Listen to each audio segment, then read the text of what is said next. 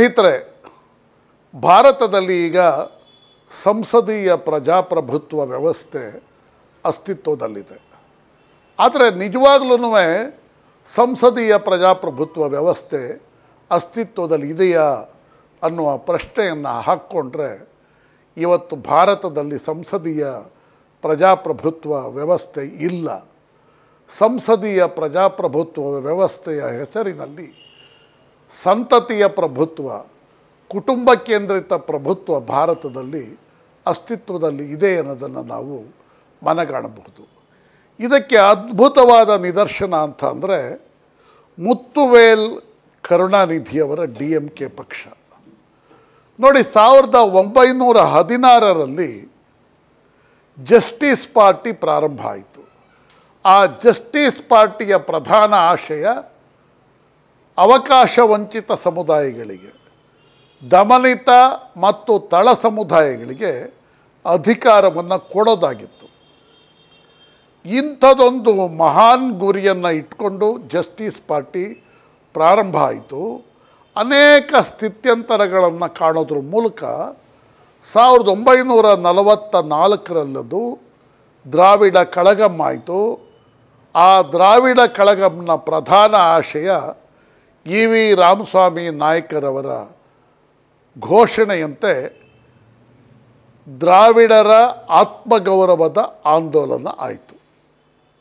ತದನಂತರದಲ್ಲಿ ದ್ರಾವಿಡ ಕಳಗಂ, ದ್ರಾವಿಡ ಮುನ್ನೇತ್ರ ಕಳಗಂ ಅನ್ನುವಂತಹ ಒಂದು ರಾಜಕೀಯ ಪಕ್ಷವಾಗಿ ರೂಪಾಂತರಗೊಂಡು ಈ ರೀತಿ ನಿರ್ದಿಷ್ಟ ತತ್ವ ಮತ್ತು ಸಿದ್ಧಾಂತದ ನೆಲೆಯಲ್ಲಿ ರೂಪುಗೊಂಡ ದ್ರಾವಿಡ ಮುನ್ನೇತ್ರ ಕಳಗಂ ತನ್ನ ಸ್ಥಾಪನೆಯ ನಂತರದ ಎಪ್ಪತ್ತು ವರ್ಷಗಳ ಅವಧಿಯಲ್ಲಿ ತನ್ನ ಮೂಲ ಸ್ವರೂಪವನ್ನೇ ಕಳ್ಕೊಂಡಿದೆ ನಾನು ಆಗಲೇ ಹೇಳಿದ ಹಾಗೆ ನಿರ್ದಿಷ್ಟ ತತ್ವ ಮತ್ತು ಸಿದ್ಧಾಂತದ ನೆಲೆಯಲ್ಲಿ ಸ್ಥಾಪನೆಗೊಂಡ ರಾಜಕೀಯ ಪಕ್ಷಗಳು ಅಂತಿಮವಾಗಿ ಕುಟುಂಬ ಕೇಂದ್ರಿತ ರಾಜಕೀಯ ಪಕ್ಷಗಳಾಗಿ ಪರ್ಯಾವಸಾನಗೊಳ್ತಾ ಇದ್ದಾವೆ.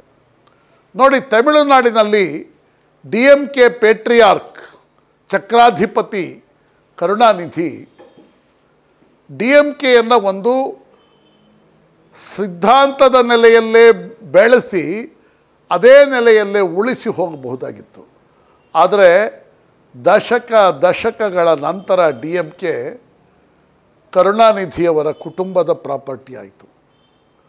ಸರ್ಕಾರವನ್ನು ನಡೆಸುವಾಗ ದೊರೆಯುವ ಪ್ರತಿಯೊಂದು ಸವಲತ್ತುಗಳ ಲಾಭವನ್ನು ಡಿ ಎಂ ಕೆ ನೇತಾರ ಕರುಣಾನಿಧಿಯವರ ಕುಟುಂಬದ ಜನರೇ ಬಳಸ್ಕೊಳ್ಳೋದಕ್ಕೆ ಪ್ರಾರಂಭ ಆದರು. ಇವತ್ತು ತಮಿಳುನಾಡಿನಲ್ಲಿ ರಿಚೆಸ್ಟ್ ಪರ್ಸನ್ ಯಾರು ಅಂತಂದರೆ ಡಿ ಎಂ ಕೆ ನೇತೃತ್ವವನ್ನು ವಹಿಸಿರುವ ಕರುಣಾನಿಧಿಯವರ ಕುಟುಂಬ. ಮುಂದಿನ ದಿನಗಳಲ್ಲಿ ತಮಿಳುನಾಡಿನ ರಾಜಕಾರಣದ ಡಿ ಎಂ ಕೆ ಪಕ್ಷದ ಉತ್ತರಾಧಿಕಾರಿ ಯಾರು ಅಂತಂದರೆ ಅದು ಕರುಣಾನಿಧಿಯವರ ಪುತ್ರ ಎಂ ಕೆ ಸ್ಟಾಲಿನ್. ಅವರು ತಪ್ಪಿದರೆ ಕರುಣಾನಿಧಿಯವರ ಇನ್ನೊಬ್ಬ ಪುತ್ರ ಎಂ ಕೆ ಅಳಗಿರಿ. ಅವರು ತಪ್ಪಿದರೆ ತಮಿಳುನಾಡಿನ ರಾಜಕೀಯದ ವಾರಸುದಾರೆ ಕರುಣಾನಿಧಿಯವರ ಪುತ್ರಿ ಕನ್ನಿಮೋಳಿ. ಇಂಥ ಪರಿಸ್ಥಿತಿ ನಿರ್ಮಾಣ ಆಗಿದೆ. ನೋಡಿ, ಇದು ಬರೀ ಡಿ ಎಂ ಕೆಗೆ ಮಾತ್ರ ಸೀಮಿತವಾದಂಥ ಪರಿಸ್ಥಿತಿ ಅಲ್ಲ. ನಿನ್ನೆ ದಿವಸ ಕರುಣಾನಿಧಿಯವರ ಪಾರ್ಥಿವ ಶರೀರದ ಯಾತ್ರೆಯಲ್ಲಿ ಪಾಲ್ಗೊಂಡಿದ್ದ ಭಾರತದ ಬಹುಪಾಲು ನಾಯಕರು. ಶವ ಸಂಸ್ಕಾರದ ವಿಧಿವಿಧಾನಗಳನ್ನು ನೋಡಿದಂತಹ ಅತಿರಥ ಮಹಾರಥ ರಾಜಕಾರಣಿಗಳ ಪಟ್ಟಿಯನ್ನು ನಾವು ನೋಡ್ತಾ ಹೋದರೆ ಎಲ್ಲರೂ ಕುಟುಂಬ ಕೇಂದ್ರಿತ ರಾಜಕಾರಣದ ವಾರಸುದಾರರು. ನೋಡಿ, ಅಲ್ಲಿ ಪಂಡಿತ್ ಜವಹರ್ಲಾಲ್ ನೆಹರು ಅವರ ಮರಿಮಗ ರಾಹುಲ್ ಗಾಂಧಿಯವರಿದ್ದರು ಸ್ವತಂತ್ರ ಹೋರಾಟದಲ್ಲಿ ಸಕ್ರಿಯವಾಗಿ ಪಾಲ್ಗೊಂಡು ಭಾರತಕ್ಕೆ ಸ್ವತಂತ್ರವನ್ನು ತಂದುಕೊಡೋದರಲ್ಲಿ ನಿರ್ಣಾಯಕ ಪಾತ್ರವನ್ನು ವಹಿಸಿದ ಕಾಂಗ್ರೆಸ್ ಪಕ್ಷ ಇವತ್ತು ಒಂದು ಕುಟುಂಬದ ಪ್ರಾಪರ್ಟಿಯಾಗಿದೆ. ಪಂಡಿತ್ ಜವಾಹರ್ಲಾಲ್ ನೆಹರು, ತದನಂತರದಲ್ಲಿ ಇಂದಿರಾ ಗಾಂಧಿ, ತದನಂತರದಲ್ಲಿ ರಾಜೀವ್ ಗಾಂಧಿ, ಆಮೇಲೆ ಸೋನಿಯಾ ಗಾಂಧಿ, ಅಂತಿಮವಾಗಿ ಈಗ ರಾಹುಲ್ ಗಾಂಧಿ. ಈ ರಾಹುಲ್ ಗಾಂಧಿಯವರು ಕರುಣಾನಿಧಿಯವರ ಅಂತಿಮ ಪಯಣದ ಕ್ಷಣಗಳನ್ನು ಕಣ್ತುಂಬಿಸ್ಕೊಂಡ್ರು. ಅವರ ಜೊತೆ ಒಳಗಿದ್ದವರು ಇನ್ನೊಬ್ಬ ಪೇಟ್ರಿಯಾರ್ಕ್, ಕರ್ನಾಟಕದ ಚಕ್ರಾಧಿಪತಿ ಹೆಚ್ ಡಿ ದೇವೇಗೌಡ. ಜನತಾ ಪರಿವಾರ ಸ್ಥಾಪನೆಯಾದದ್ದೇನೆ ಸಂತತಿಯ ಪ್ರಭುತ್ವ ಮತ್ತು ಸರ್ವಾಧಿಕಾರವನ್ನು ವಿರೋಧಿಸಿ ಅಂತಹ ಪಕ್ಷದ ಪಳೆಯುಳಿಕೆಯಾಗಿ ಉಳ್ಕೊಂಡಿರುವ ಜೆ ಡಿ ಎಸ್ ಅದು ಒಂದು ಕುಟುಂಬ ಕೇಂದ್ರಿತ ರಾಜಕೀಯ ಪಕ್ಷ. ಮತ್ತು ಇದೇ ಸಂದರ್ಭದಲ್ಲಿ ತೆಲುಗು ದೇಶಂನ ಚಂದ್ರಬಾಬು ನಾಯ್ಡು ಅವರಿದ್ದರು. ಅವರ ಪಕ್ಷ ತೆಲುಗು ದೇಶಂ ಸ್ಥಾಪನೆಗೊಂಡದ್ದು ಎನ್ ಟಿ ರಾಮರಾವ್ ಅವರ ಘೋಷಣೆ, ತೆಲುಗರ ಆತ್ಮಾಭಿಮಾನದ ಘೋಷಣೆ. ಇವತ್ತು ಆ ಪಕ್ಷ ಎನ್ ಟಿ ರಾಮರಾವ್ ಅವರ ಕುಟುಂಬದ ಪ್ರಾಪರ್ಟಿಯಾಗಿದೆ. ಇನ್ನು ಸಮಾಜವಾದಿ ಸಿದ್ಧಾಂತದ ನೆಲೆಯಲ್ಲಿ ಸ್ಥಾಪನೆಗೊಂಡ ಪಕ್ಷಗಳು. ಸಮಾಜವಾದಿ ಪಕ್ಷ, ರಾಷ್ಟ್ರೀಯ ಜನತಾದಳ ಈ ಪಕ್ಷಗಳ ನೇತಾರರು ಕರುಣಾನಿಧಿಯವರ ಅಂತಿಮ ಯಾತ್ರೆಯಲ್ಲಿ ಭಾಗವಹಿಸಿದರು. ನೋಡಿ, ಸಾವಿರದ ಒಂಬೈನೂರ ಅರವತ್ತ ಏಳರಲ್ಲಿ ಮುಲಾಯಂ ಸಿಂಗ್ ಯಾದವ್ ಅವರು ವಿಧಾನಸಭೆಯನ್ನು ಪ್ರವೇಶ ಮಾಡಿದ್ದು, ಸಂತತಿಯ ಪ್ರಭುತ್ವವನ್ನು ವಿರೋಧಿಸಿ. ಆದರೆ ಅಂತಿಮವಾಗಿ ಮುಲಾಯಂ ಸಿಂಗ್ ಯಾದವ್ ಅವರ ಸಮಾಜವಾದಿ ಪಾರ್ಟಿ ಇದೆಯಲ್ಲ, ಅದು ಒಂದು ಕುಟುಂಬ ಕೇಂದ್ರಿತ ಪಾರ್ಟಿಯಾಗಿ ರೂಪುಗೊಳ್ತು. ಅವರ ಮಗ ಅಖಿಲೇಶ್ ಯಾದವ್ ಅವರೇ ಮುಲಾಯಂ ಸಿಂಗ್ ಯಾದವ್ ಅವರ ಉತ್ತರಾಧಿಕಾರಿಯಾದರು. ಅದೇ ಪರಿಸ್ಥಿತಿ ಲಾಲು ಪ್ರಸಾದ್ ಯಾದವ್ ಅವರ ರಾಷ್ಟ್ರೀಯ ಜನತಾದಳದಲ್ಲೂ ಇದೆ. ಈ ಲಾಲು ಪ್ರಸಾದ್ ಯಾದವ್ ಸಾವಿರದ ಒಂಬೈನೂರ ಎಪ್ಪತ್ತ ಐದರಲ್ಲಿ ಜಯಪ್ರಕಾಶ್ ನಾರಾಯಣ್ ಅವರ ಸಮಗ್ರ ಕ್ರಾಂತಿ ಮತ್ತು ನವನಿರ್ಮಾಣ ಆಂದೋಲನದ ಚಳವಳಿಯಲ್ಲಿ ಸಕ್ರಿಯವಾಗಿ ಪಾಲ್ಗೊಂಡಿದ್ದರು ಆ ಆಂದೋಲನದ ನಿಜವಾದ ಗುರಿ ಏನು ಅಂತಂದರೆ ಭಾರತದಲ್ಲಿ ಸರ್ವಾಧಿಕಾರ ಮತ್ತು ಸಂತತಿಯ ಆಡಳಿತವನ್ನು ವಿರೋಧಿಸೋದು. ಅಂಥದೊಂದು ಆಂದೋಲನದ ಕುಡಿಯಾಗಿ, ಹೆಮ್ಮರವಾಗಿ ಬೆಳೆದ ಲಾಲು ಪ್ರಸಾದ್ ಯಾದವ್ ಅವರ ಆರ್ ಜೆ ಡಿ ಪಾರ್ಟಿಯಲ್ಲೂ ಕುಟುಂಬ ಕೇಂದ್ರಿತ ರಾಜಕಾರಣ ಪ್ರಭುತ್ವವನ್ನು ಸ್ಥಾಪಿಸಿದೆ. ಹೀಗೆ ಪ್ರತಿಯೊಂದು ರಾಜಕೀಯ ಪಕ್ಷ ನಿರ್ದಿಷ್ಟ ತತ್ವ ಮತ್ತು ಸಿದ್ಧಾಂತದ ನೆಲೆಯಲ್ಲಿ ಪ್ರಾರಂಭ ಆಗಿ ಕಟ್ಟ ಕಡೆಗೆ ಕುಟುಂಬ ಕೇಂದ್ರಿತ ರಾಜಕೀಯ ಪಕ್ಷಗಳಾಗ್ತವೆ. ಯಾರೂ ಸೆಕೆಂಡ್ ಲೈನ್ ಲೀಡರ್ಸ್ ಸಮರ್ಥ ನಾಯಕತ್ವವನ್ನು ತಮ್ಮ ಕುಟುಂಬದ ಹೊರಗಡೆ ಬೆಳೆಸೋದೇ ಇಲ್ಲ.